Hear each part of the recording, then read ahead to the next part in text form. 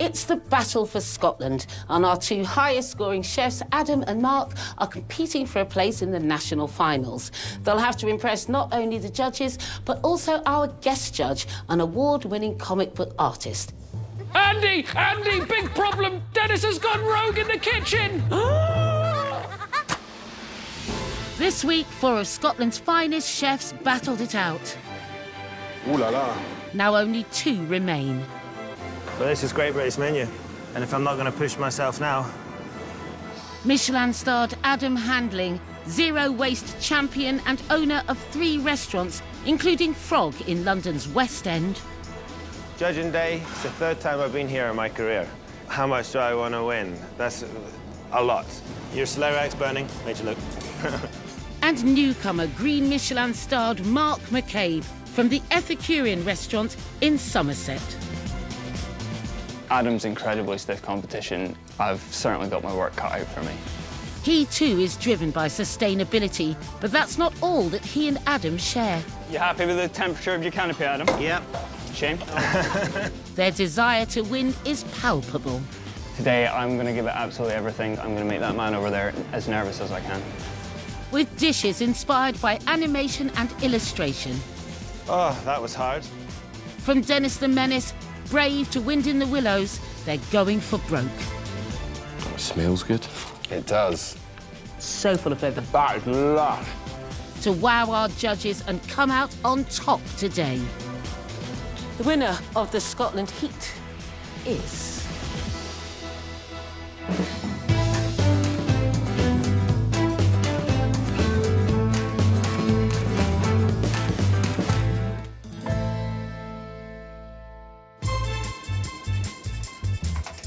I'm rearing to go. I had no idea what to expect as a newcomer in the competition. I'm very nervous. I've tasted the finals before, and I want it again. I'll be giving this competition everything I have.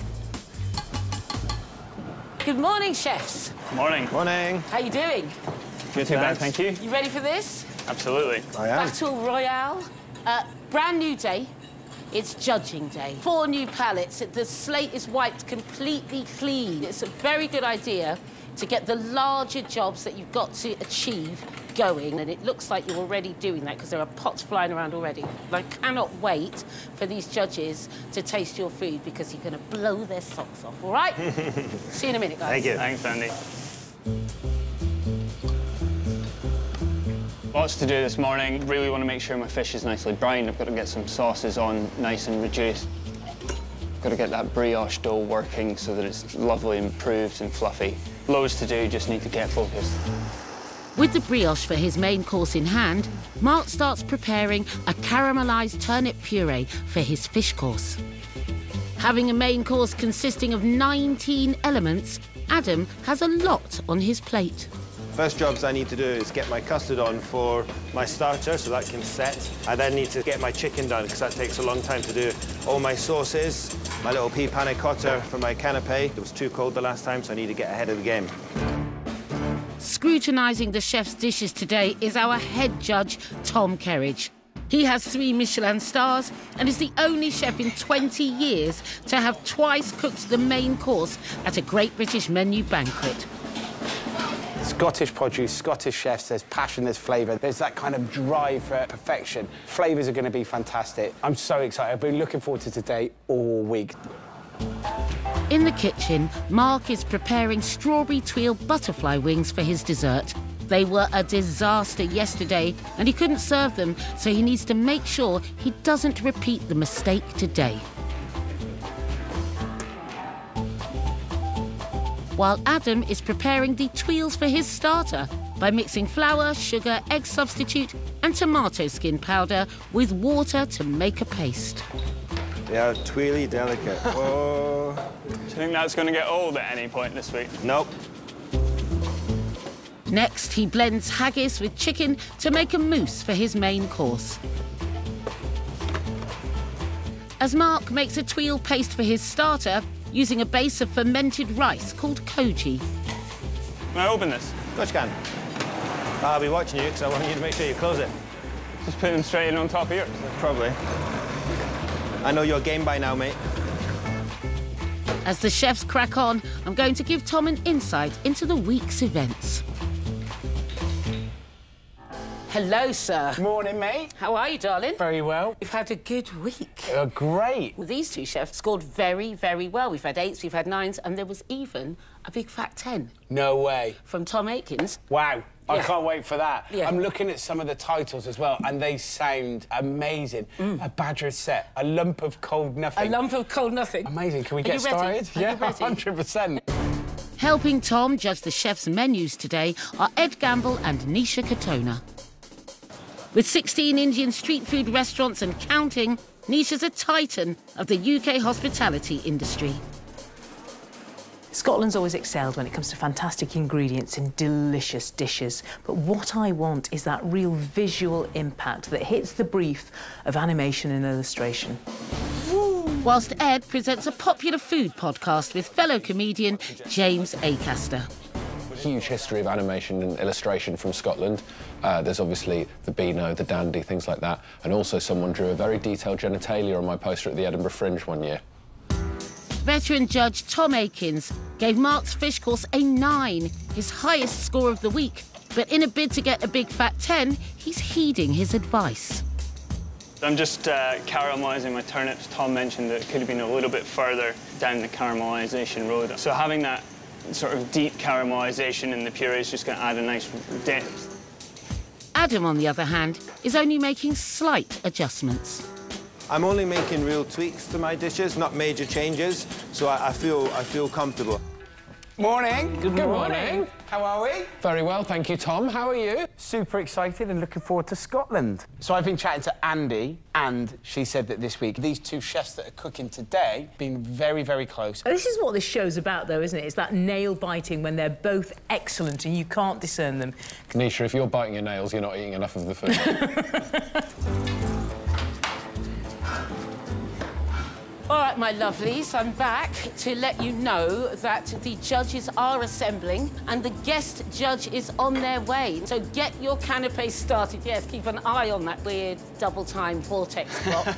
OK, so make them the best you possibly can. Thanks very much, Here we go, boys. The guest judge today is a Glasgow born award winning comic book illustrator who has drawn Batman, the X Men, and Superman. Vincent Deighan, better known by pen name Frank Quitely. Frank, Hello. Good Hello. welcome. Hi. Thank you. Thank you very much for joining us. Take a, take a seat. Delighted. Thank you. Frank, I've got to point out now that Ed is very, very excited that you're here. Oh, well, I'm very excited too, but for different reasons. Not because of Ed. That's not to say that we're not excited, but Ed is a big comic book fan. I love comic books. So our theme this year, Frank, is animation and illustration. What, what do you think of that as the theme for the banquet this year? it's a great theme, obviously. What is it about the comics that attracted you in the first place? I loved drawing when I was a child. And also, I was a kind of lazy reader. So the comic strip kind of worked because you could, you could get through the story and work it out without really doing much reading. So a great advert for, for comics. Yeah, but a wonderful one for art. Adam is building pea and caviar tarts. You happy with the temperature of your canopy, Adam? Yep. That's a shame. whilst trying not to let his rival get under his skin. I can't concentrate like that. I heard that, did you hear that? For his canapé, Mark is adding diced Arctic charbelly and tomato to his croustade cases and a sprinkle of dehydrated fish scales. So, Frank, what is it that you're looking for in the food today? I'm looking for flavours, but I'm also hoping to see how the dishes tie in with the briefs. Have you come hungry as well, Frank? Yes, I have. I have eaten nothing for days. Great. So, food, comic books, all tied into the brief. We should be in for an amazing day. Yeah, I'm living my 14-year-old dream today. Not quite, actually.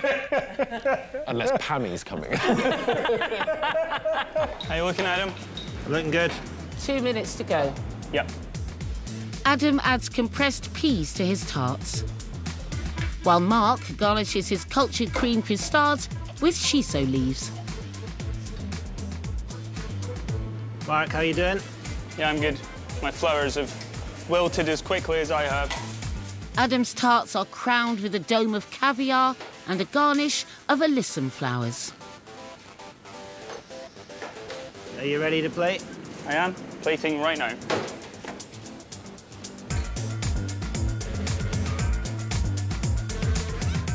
Service, please. Thank you so much.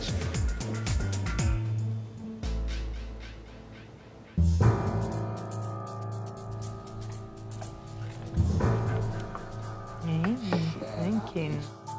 First up, Adam's tart. They both look exquisite. Mm.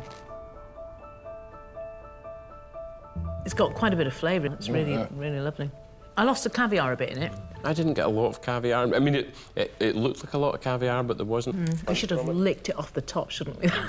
Should have eaten it first. But I didn't want to lose the pea. I know exactly right. There's a beautiful mm. savoury sweetness to that mm. pea, and the crispy tart was, was delicious. You're right, the caviar kind of that saltiness kind of got lost just a little bit, but it was, I mean, it was beautiful. Next, it's Mark's Croustade. Nice to have cultured cream for a change, isn't it? As opposed to this barbaric, uncultured cream we've been having. That is lush. Mm. Smoky, acidity, that cream is beautiful, the tomato is lovely. Well, that's delicious. Mm. Yeah. That was so good. So we got to choose one. We got to decide which one we like the most. You pick up the plate that it came from. Wow. Ooh. We've all gone for that one. That was quite a close call for me. I think the balance just edged it. I think it's just because it was awkward for us to both pick this up. A strong start for Mark. Can he keep it up for his starter? In the week, his handmade tuile moulds let him down. Absolutely fine with the tuiles this time. Not using the dog bone moulds has really helped. Mixes a bit better now. So, Frank, how long have you been drawing comic book cartoons? I professionally for more than 30 years. You got some of that stuff I here? I have some here, yes. Um, there's a, a couple of graphic novels and a selection of various different pieces of artwork. wow, look at this. God, they're so beautiful, Frank. Wowzers. Here, let me see. What was your big break, Frank? Um, I started working for an underground comic in Glasgow, and then from that I started working on the the Judge Dredd sort of stuff. Then into superheroes, and just over the years, it's there, there hasn't been a single big break. It's just been a, a slow build. The main element of Mark's dish is mushroom porridge, made with oats, spelt, and mushroom stock. He adds fermented pearl barley along with mushroom garum and truffles. How you looking at him? I'm looking good. You do look good. How's the food though? You're getting funny as the, the more the week goes on. He portions wild mushrooms and dices king oyster mushrooms, which he fries in garlic and thyme. The first starter is called Behind Bars, and it's a savoury mushroom and koji porridge with beer pickled chanterelles, barbecue maitake, mixed wild mushrooms, and koji tuile. And it's inspired by the Beano's Dennis the Menace and an episode when he ends up behind bars, published by DC Thomson in Dundee. I am a big fan of DC Thomson, so here's hoping it sticks to the brief. Veteran Tom Aikens gave Mark's starter an 8. He had a couple of suggestions to help his porridge score higher. So you're taking on wisely the advice from Tom. You're going to up the seasoning. Yep. And you're going to push that creaminess with a little more oats running through it. Exactly. And also that sort of gives you a touch more luxury to the whole thing, doesn't it? Exactly. Beano or a dandy? It's kind of like a rivalry, wouldn't it? Which would you, which would you read? I was a Beano kid. Yeah. Yeah, for sure. Mainly because of Dennis the Menace. I think he's a hero to all children. It's All badly behaved children. Yeah, it's exactly. So, although I sort of saw myself as a, a hybrid between Dennis the Menace and Walter the Softy, you know, I wasn't Okay. on one side or the other. It's a good balance. You know, I like running around in the park, but I like to smell nice as well.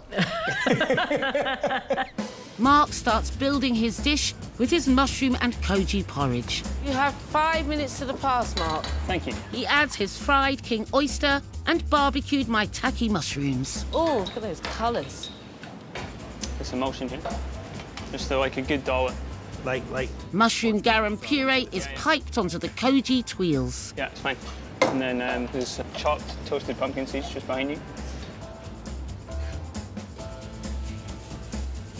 Truffle sits on top of the porridge, a sprinkle of pickled chanterelle, followed by micro herbs. Last minute, Mark. One Thank minute you. to go. Thank you very much. Thank you. And it's just the glaze. We are good to go. You happy? Yeah, very happy, yeah. Service, please.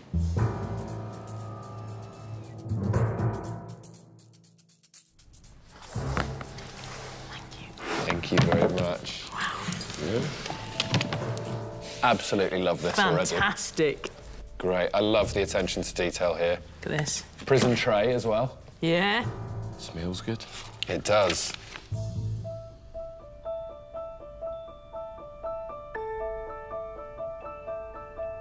I'm just toying. I'm having to think through whether I think the balance of that, that sour and the real umami of the mushrooms is right, but that's a very subjective thing. I love it. Yeah? I really love it. I know there is acidity in there, but I think that's balanced out by that sweetness in there. That tuile was just a proper little punch of flavour. It's porridge, so it's prisony, you know. And Scottish. And Scottish, exactly. It's absolutely delicious. Uh, the presentation is really good with the brief. But I think Nisha's right on that point of the acidity. It's not just like little bursts of acidity you get. It's actually this constant kind of underlying whir of sour that comes from the fermentation, which I think is fantastic if it was a slightly smaller portion. It's absolutely beautiful, but for a starter, I could do with a, a smaller portion as well. A few tweaks to this, and it's a great, almost perfect dish. Mm. I, I said it was too much, and I keep eating. yeah, I know. I'm, I I've had to push it away.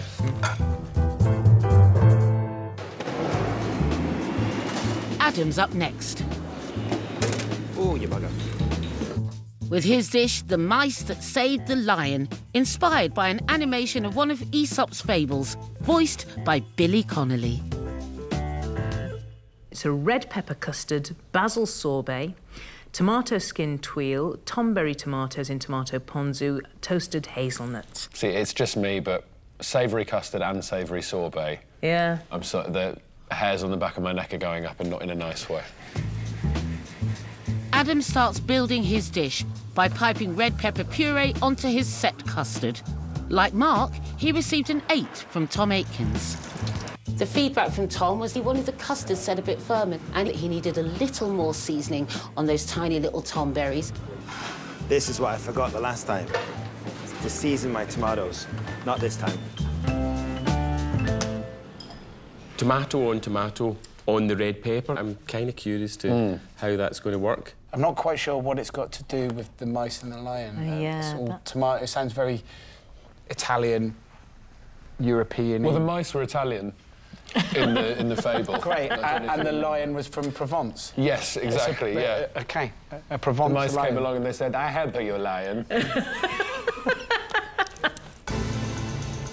Having broken his intricately designed tuiles whilst plating earlier in the week, Adam is down on his knees, hoping things will run smoother this time around. Super intricate. You know, all the little dots, all the little flowers. I think you might need an extra minute or two, Adam. What time is it? You've got uh, two minutes left. Two minutes? Okay. Mark, Yeah, sure. can you help me please now? The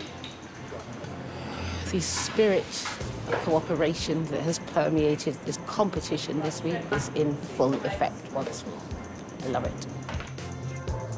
One minute, Adam. One minute. So what changes have you made to this, Adam? I've just let it be a little colder. Recipe's still the same. I've added a little bit more spice mixture. It's gorgeous. He sprinkles a fiery Japanese spice mix called togarashi to enhance the red pepper flavour before carefully adding his shiso flower top tuiles.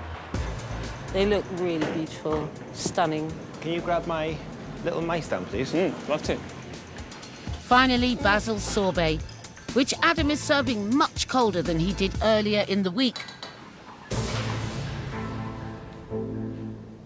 Was it on the side before Yeah. and on the top? Smaller. Lovely. It's a lot lighter. Service, please. Thank you so much.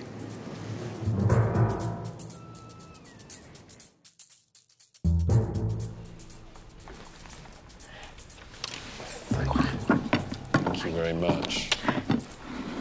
I mean, I love the way it looks straight away. Yeah. Tell me, tell me what the string is. Whatever Everything's How is that part of the, um, Hatched. Oh, it's a tra- it's a trap. Has it trapped you? It did. But the Intellectually. smell, straight away, the smell that comes from that, mm. it's fresh, it's mm. clean, Oh, yeah. it's vibrant, it's amazing.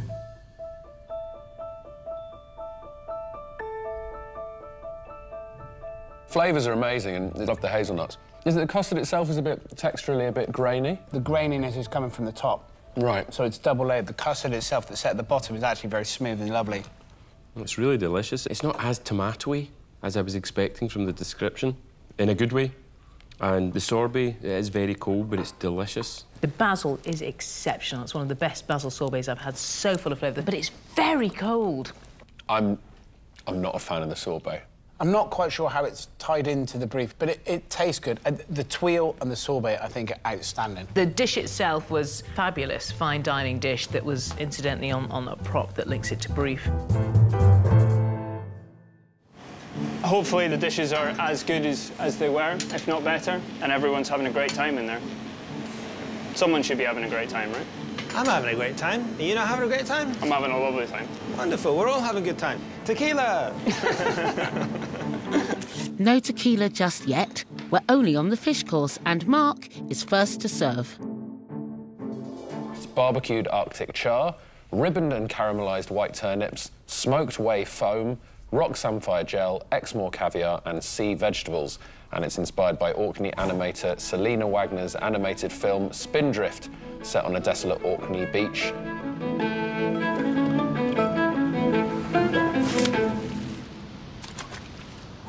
It's another appearance for char on the menu. I wonder if that's the, the same chef trying to use every bit of the ingredient. I think both of these chefs have got an eye on sustainability. So I would reckon that that smoked char starter is now making another appearance as the fish course. How's your fish doing, buddy? Yeah, all coming together, I think. Perfect opportunity to say swimmingly. Sorry, I've let you down. Adam and I both have uh, very strong views on zero waste. Uh, it's great to be cooking with someone who holds such things to his heart as closely as I do. How you doing, darling? I'm okay, thank you. You got a nine for this beautiful dish, Spindrift. What was your one piece of feedback from Tom? The turnip puree could be slightly more caramelised. That's what I've done. That is that what you've done? Yeah. Having deboned his fillets, Mark barbecues the Arctic char skin side down to get it nice and crisp. Mark's wonderful dish, Spindrift, full of powerful, bleak romance and absolute precision in terms of the food. Let's hope he gets it spot on.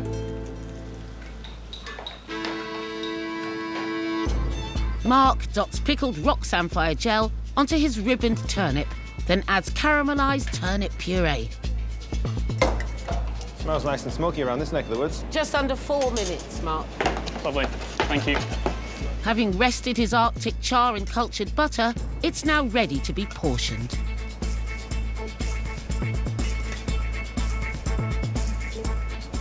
You have two minutes to the pass, Mark. Thank you. Adam lends a hand, adding the sea vegetable garnish. His smoky whey sauce is blitzed to a foam and plated. These are the last things going on, yes, Mark? Yep. Yeah. Great. Well, it's your dish. The dish is finished with caviar. Did I do you proud of my garnish? Looks beautiful.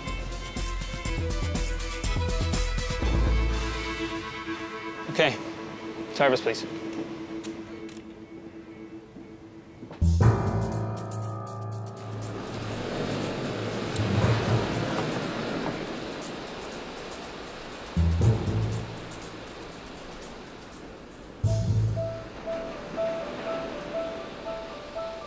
Turnip ribbon is just delicious.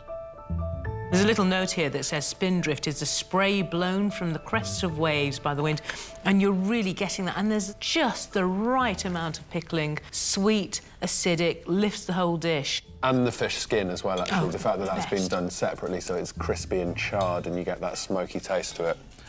What I'm really interested in, the caramelised turnip puree, it's already got peppery kind of flavour to it, and it sucks that fish into a different realm because it's sat on it. I've not had something like that before. Fish is beautifully mm. cooked as well, by the way. Makes you want to wrap up in a big coat. I love the way that it's drawing those kind of sensations for me, like the feeling that you're walking across a gale-blown beach front with the waves crashing up, maybe, and it just it captures all of that feeling. For me, this is the, the first dish where the food itself has actually met the brief, hmm. whereas everything previously has just been in the presentation.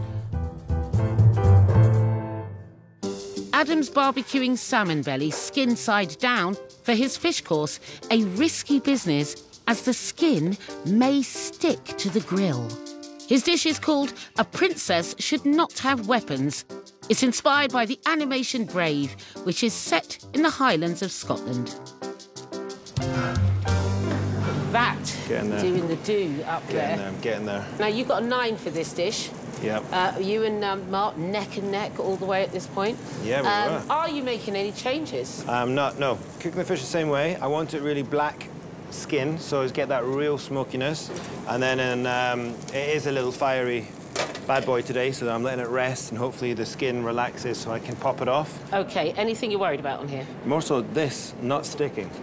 Right. It's probably my only worry. Barbecued salmon belly. Amazing. Lovely and Beautiful fat fatty, content in yeah. salmon anyway. Salmon belly. Yeah. I love it. Love to see a salmon with a belly.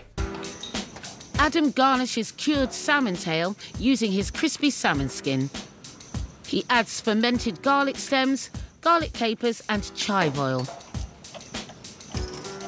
But it's a moment of truth for his salmon belly. Has it stuck to the grill?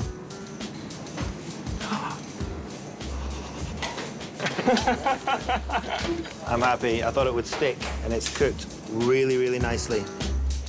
He seasons with fennel pollen and fermented garlic caper juice. Let's get this really hot and then away we go. How does it work with things like Superman? Is it difficult to, to try and get your own personality into something whilst also sticking with what they, they demand from a Superman illustrator? With something like Superman, you have to make it recognisably mm-hmm. Superman, but everybody has their own mark. It's like your handwriting, the way you draw.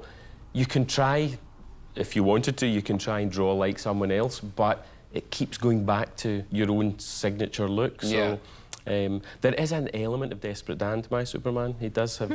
he's got the chin. He's got the chin Yeah. and the barrel chest, yeah. Adam's cured salmon tail is first to be plated, and the caramelised whey is added to the sauce. A spoonful of smoked celeriac puree is topped with dried chickweed leaves. Next, he portions his barbecued salmon belly as the brave princesses arrive. the full kit and caboodle. Good week. What are you dusting it with? Dashi. Right, mate, can you hold this for me, please? He adds a garnish of blueberries, lingonberries, and pickled elderberries, and finishes with leaf shaped potato crisps. Last minute, Adam. Yep, wonderful. Thank you so much. I am good to go.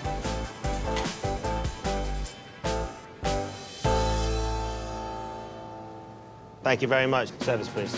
Just like that. Thank you. Makes me proud seeing kilts.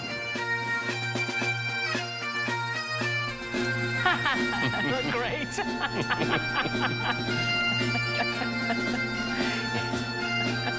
Thanks very much. Oh.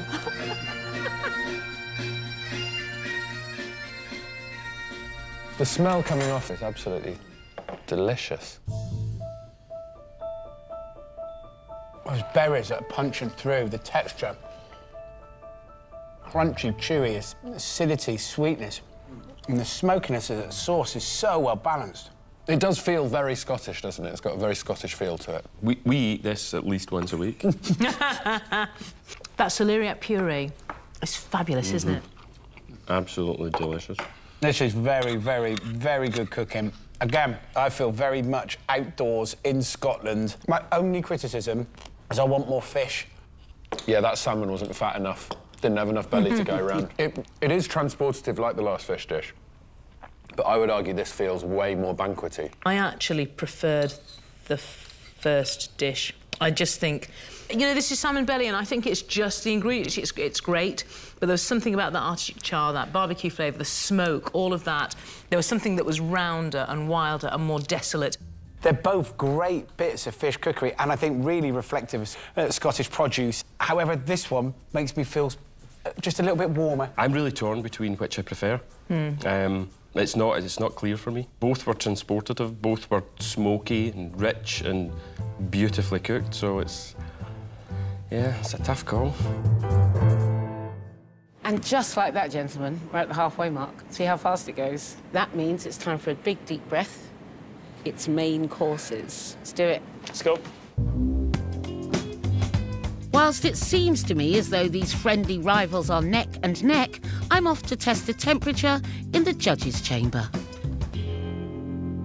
Hello. Well, howdy, folks. Hello. Hi. All right, mate. Yeah, yeah, look at smiling. Oh, honestly, what a morning. Great food. Lots of things that have been amazing. Excellent. Nisha, are you feeling the love? It's incredible because the level that they're cooking at is so high that we are now splitting emotional hairs. Yes. And it's become very subjective. Mm. It's a kind of superhuman effort, something you're familiar with. Did you like how I did that? Yeah, very good. Thank you very much. Thank you very much.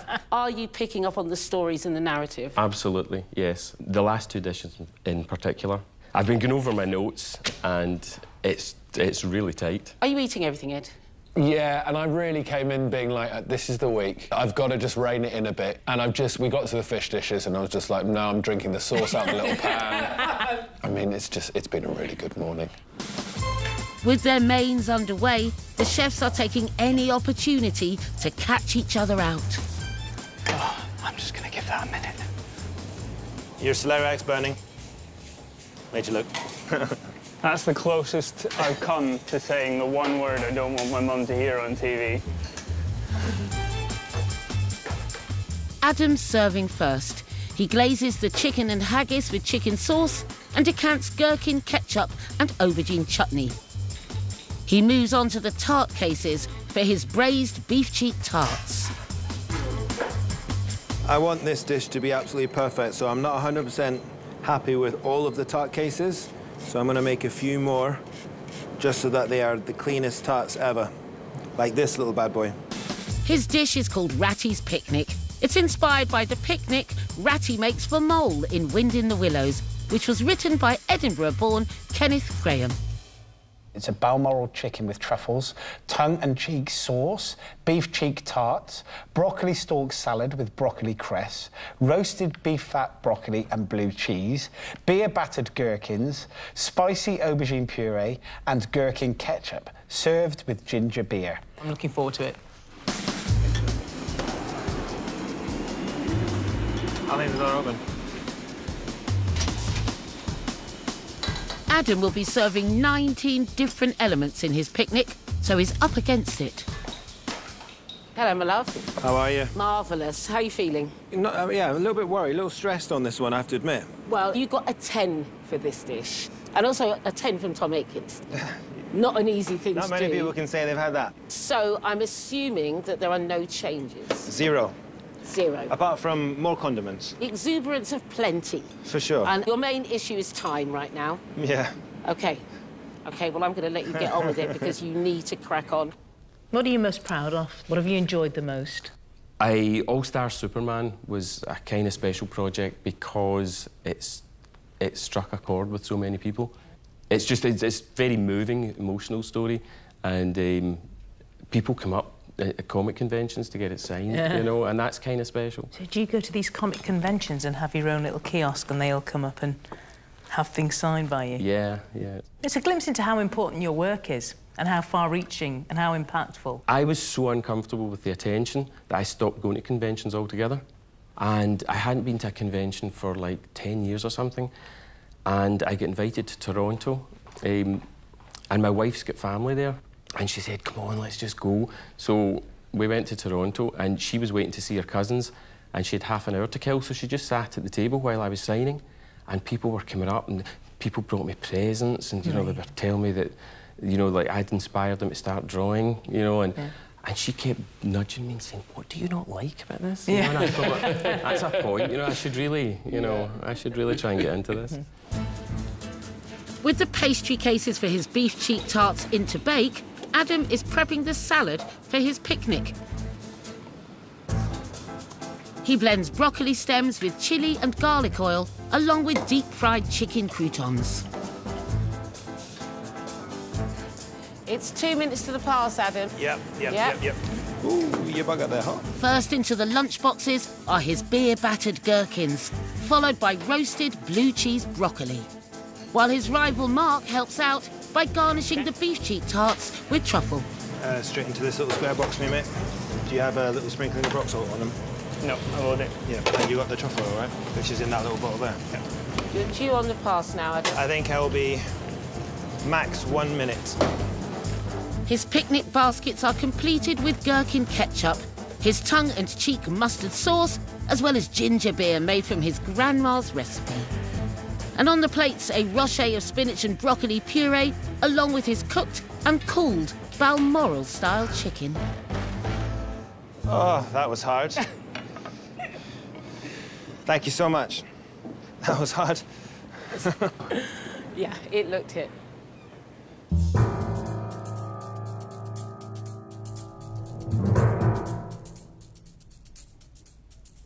Should we have a look in this basket? Yes, let's have a look. There you go, some nice tarts there. We've got some lunch boxes. Granny's ginger beer. Wow.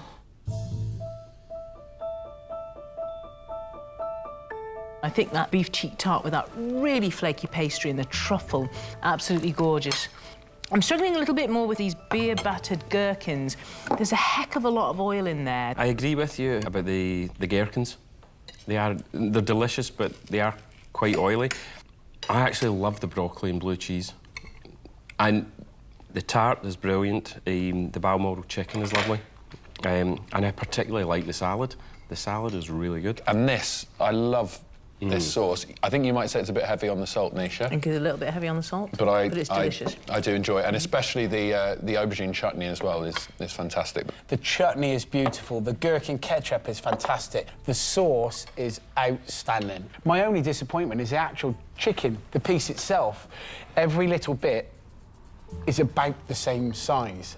A bit more of that, a little bit less of that, a bit of a tweak of that, and it could be completely on song in balance. Just right now, it just feels a little bit too many bits, not enough focus.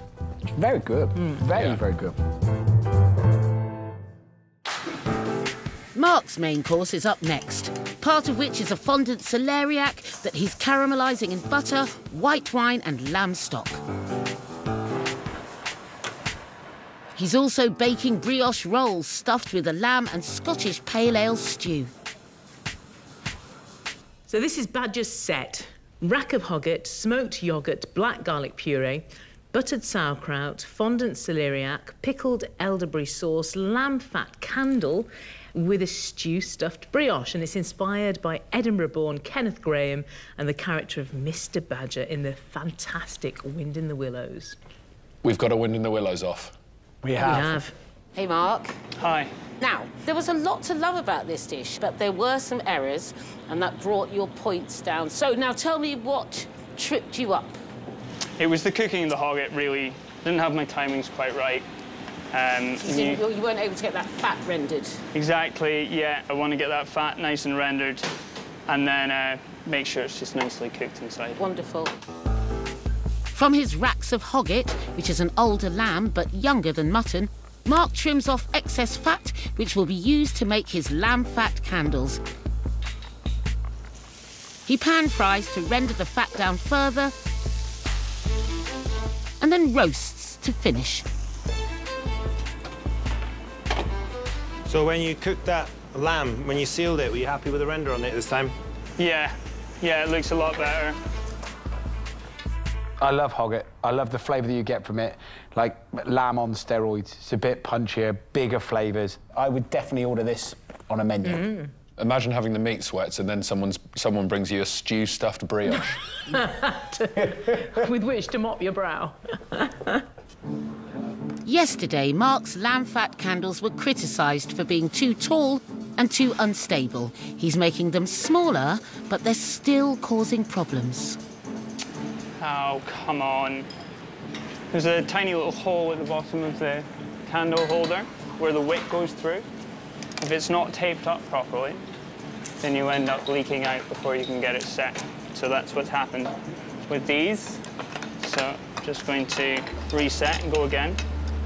That inspiration, though, it definitely feels very outdoorsy, very, very Scotland, mm. very, very, very countryside. And between these two chefs, I mean, you, you can see why the influences are quite heavy in what they cook and how they're doing it. Mark begins building his dish by piping smoked yoghurt and black garlic puree. Pieces of fondant celeriac are added. Buttered sauerkraut is next onto the plate. That's three minutes, Mark. Thank you very much. As Mark's hogget rests, he glazes his brioche with a milk, egg, and sugar mix. And positions his remade lamb fat candles on their candle holders. Then garnishes with salt and rosemary. You are due at the pass, Mark. He pours his pickled elderberry sauce into serving cauldrons and portions his hogget. How's your hogget? Looks nice, thanks. Yeah. Yeah.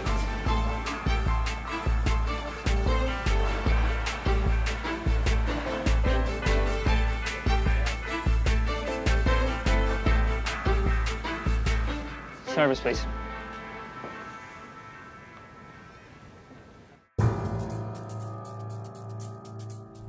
The lights are dimmed in the judging chamber to create the vibe of dinner at Badger's home.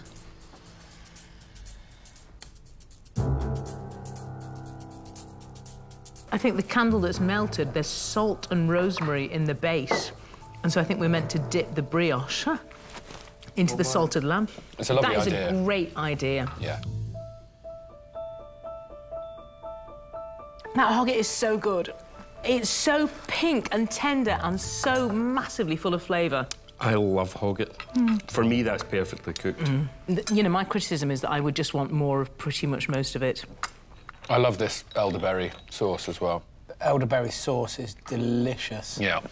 I loved, loved the buttered sauerkraut. I think my only real criticism of the hogget is that I didn't feel that fat was rendered down quite enough on the outside. Everything about it is is great. It f- fulfills the brief and it looks beautiful. I think people would be wowed by it, wouldn't they? Yeah, I think it, there is that wow factor to it. It does feel great. It does take you to the countryside. There's a kind of theatre to it.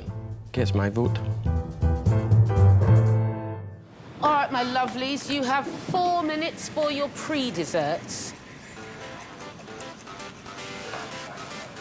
Adam will be serving lemon panna cotta, lemon sorbet, jasmine pickled apple, and a wine foam.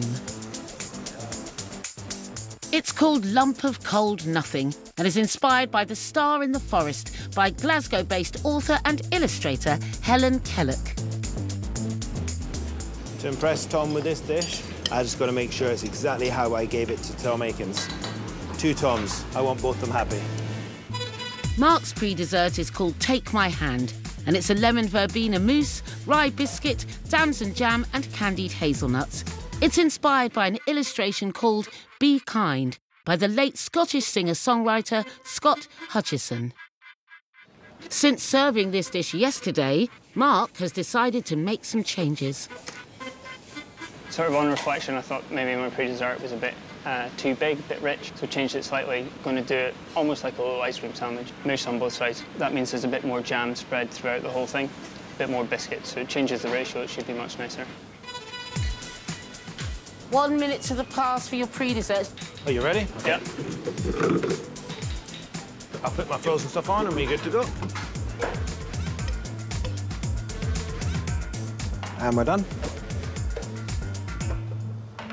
I like the new version. You happy with it? I think so. It eats better. Gorgeous. Let's get it sent. You make one for me. It did actually. Oh, cheers, mate. Service, please.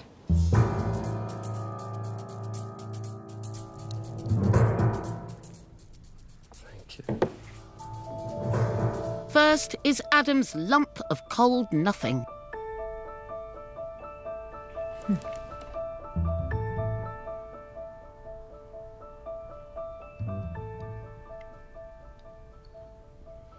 Quite punches you with acidity, doesn't it? Mm. Really does. You get that sweetness and you get like almost eye-watering sharpness that comes through. Hey, now, I'm making a face like I don't like it. I love it. My panna cotta looks a little grainy, though. Gosh, I think the panna cotta is delicious, but you're right, it's those variations in temperature, variations in texture, all those different flavours. A bit on the large side for a pre-dessert, maybe? Possibly a bit on the large side. That's the only criticism. Yeah, because I was going to say this is so refreshing and, like, cleansing after the rich mains that we've mm. just eaten. Next is Mark's Take My Hand.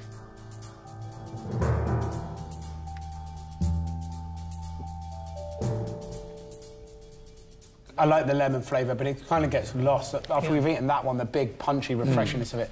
This one's good, but nowhere near as clean, as refreshing, mm. as punchy. I do like that rye biscuit, though. It's almost sort of shortbready in mm. consistency. That could have been bolder with the flavour of the lemon verbena. It's such a distinctive flavour, and I, and I love it, and I'm not getting enough of that perfume. It's, it's really lovely, but it doesn't have that palate cleansing. I do find myself wanting to go back to this one mm. now. Yeah.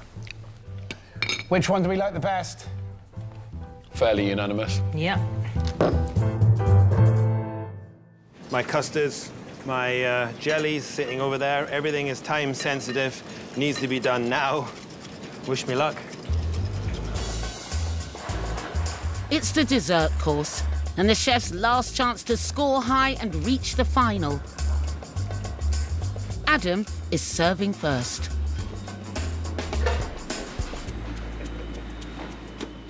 So it's the first dessert proper now. It's called Food Fight. It's a long pepper sack custard, a brown butter cake, a strawberry jelly, strawberry gel, crisps and rocks, dressed strawberries, coffee syrup, meadow sweet cream. And it's a dish inspired by the Beano Annual and a story in it called Food Fight. I love the Beano and I love strawberries. Sounds great. Yeah. You're onto a winner here set all right, it's set. So this is my jelly that I want to look like them little packet cubes. So I'm gonna cut it in cubes and it's set perfectly, much better than yesterday. Yesterday, Adam scored eight for this dish.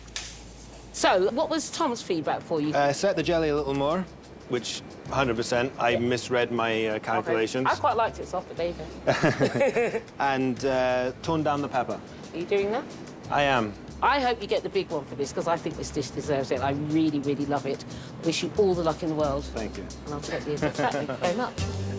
What's this long pepper business? It's a pippali, I think. I beg your pardon? I think it's a long pepper, and they used to use it to bring heat to food in India. Exactly. It's exactly that. Ago. It's exactly that. It's, it's a, a really flavour process. great ingredient. Strawberries and pepper together are magical. They work so, so well. Adam starts building his food fight dessert with strawberry and black verjus gels.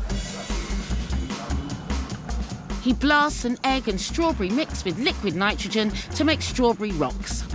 Next, onto his comic book plate is the set custard and brown butter cake. To be fair, it's a food fight, so if I make a mess, it doesn't matter. He adds his grenadine and verjus strawberry jelly, followed by the meadow sweet cream. A drizzle of bitter coffee syrup, Compressed strawberries are next onto the plate.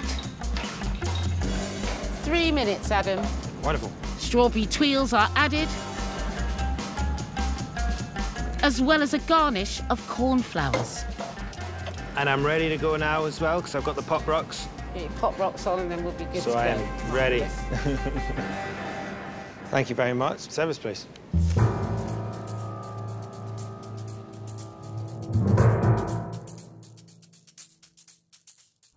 They look like they've got oh your T-shirts on it. Look at you. Thank you so much. Whoa. Wow, it looks amazing, it looks doesn't it? fab. It's so fun. It's exactly what you'd imagine a dish in the Beano to be like.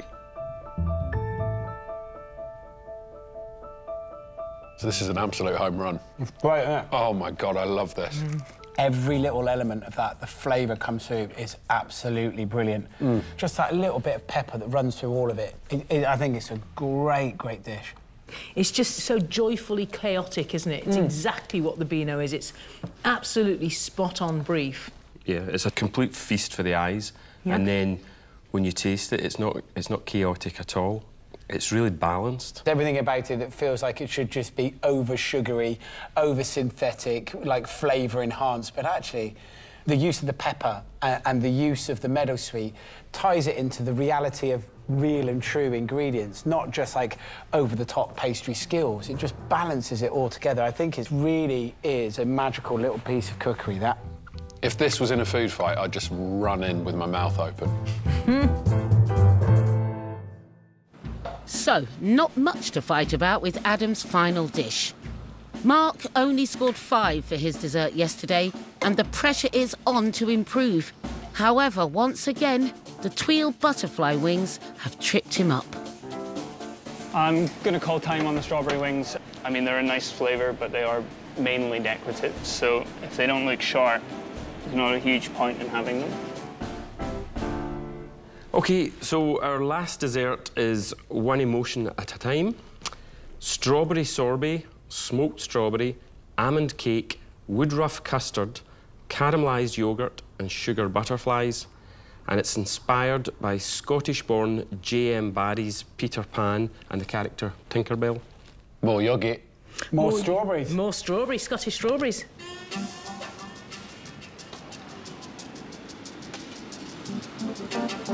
The base of Mark's dessert will be an almond sponge cake. He's flavouring his set custard with woodruff from his restaurant's garden.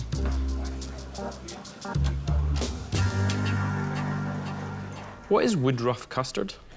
Woodruff is a kind of foraged herb that will be infused into the custard. Uh, again, something kind of savoury being used in a dessert and a custard, like the long pepper or the meadow sweet. You know, they're, they're quite similar cooks, aren't they? Are we sure it's not just one chef putting s- sort of disguise on? So you're doing something different with that sponge? Yeah, I wasn't happy with it at all. Different recipe, uh, much lighter. I'm just brushing it with the woodruff honey as well to try and get a bit more of that woodruff flavour through it. Mark sprays his almond cake with green food spray, pipes on his woodruff custard, followed by caramelised yoghurt crumb. He adds his smoked strawberry compote. You have four minutes, chef.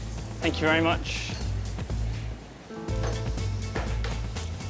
How's that sugar work? It's not any easier today than it was And yesterday. it was. you have three minutes, chef. Thank you. Adam gets into the spirit of things I'm helping, I got to look the part. and decorates the dish with edible flowers. You're due on the pass, Mark. Thank you. Mark adds his strawberry sorbet and finishes with the sugar domes. Service, please.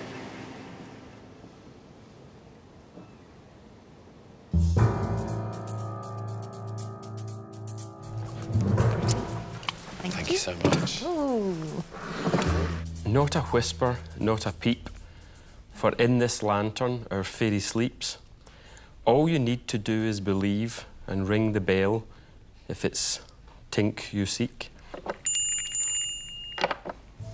That's a sign that we can eat. Yes. Yeah, let's go. As the bell rings. Yeah.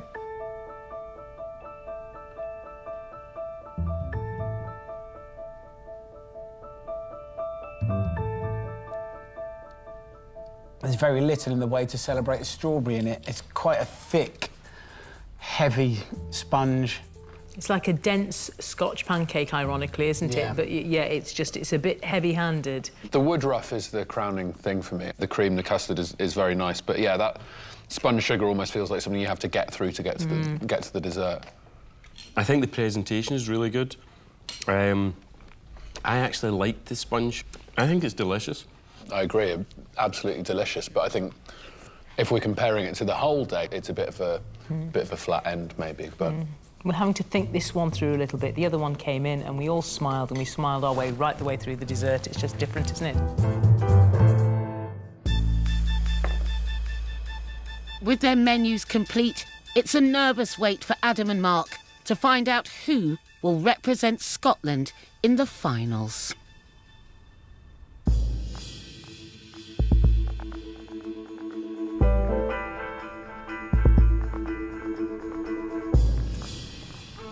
Chefs, welcome to the judges' chamber. How are you both feeling?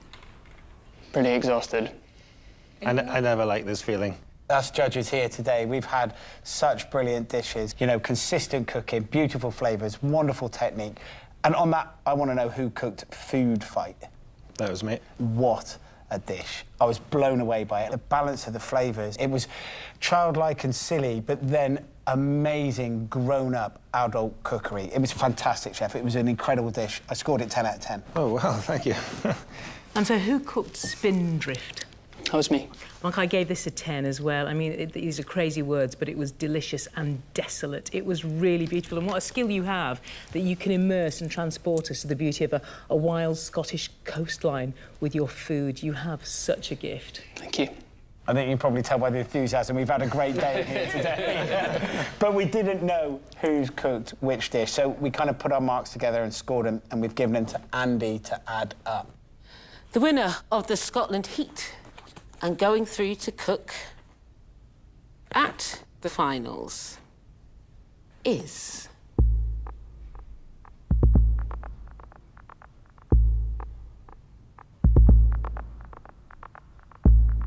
Adam. Thank you very much. Congratulations. Thank you. Oh my God, oh, every single. it does not get easier in this room at all. No, congratulations, Chief. I mean, you did, it was fantastic cooking, dish after dish, consistently all the way through. Amazing. But Mark, honestly, it's been so, so close. But Adam, congratulations. Did you cook Ratty's Picnic? Yeah. I absolutely loved it. I mean, the, even just the words on the page, the, the fried pickles and the beef fat broccoli with blue cheese. I nearly licked the menu. You really, really smashed that. Oh, awesome. Thank you. And Mark, if I can say from all of us, you know, this is the first time you came into this competition and you really blew us away. You came away with a clutch of tens. Well, it's your first time competing, but what a foundation you've got. We would love to see you back. I'd love to come back. Thank you. I've got to see that it was a real honour for me to be invited here, and you two have really done Scotland proud. Oh, thank you. Amazing. Thank you so much. And it's been wonderful having you here today. I hope you've had a great time as our guest judge. Brilliant time, thank you. And I really hope that you'll come to the banquet. I will. Thank you. Adam, congratulations. Mark, commiserations, but also congratulations because you've been incredible. Thank you very much. Well done. Uh, hug it up. Thanks, guys. Thank you very much. Well done, Well done, chefs. chefs. Oh, man, that was hard, wasn't it? Oh, it does not get easier in that room. I, I completely wish Adam the best of luck in the, in the finals. I hope he does incredibly well. Most of me really wants him to get to the banquet. There's a tiny bit of that brotherly, uh, argumentative and spite that hopes he doesn't, but it's a very small part of me. I need to do it. I need to do it. I need to represent Scotland and make it proud. So, two very accomplished chefs, an epic battle. And it was so consistent as well, like dish after dish after dish, all the way through. Really good cooking. We didn't hit any real bum notes kind of right until the end. And Adam's cooking mm. relentlessly today was very good, very good, very good, very good. Outstanding. Yeah. I mean, it was, yeah. Cannot wait to see Adam in finals week Yeah. cooking some brilliant food. Absolutely. It was great cooking with you. I loved your food. Thank you. Yeah. That little lamb roll, I'm going to steal it. Here's to Scotland. Here's to Scotland. Let's get a dish of the banquet. Absolutely.